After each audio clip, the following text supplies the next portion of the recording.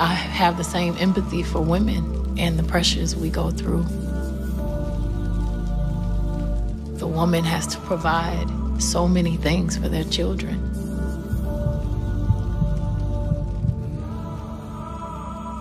I consider myself a humanist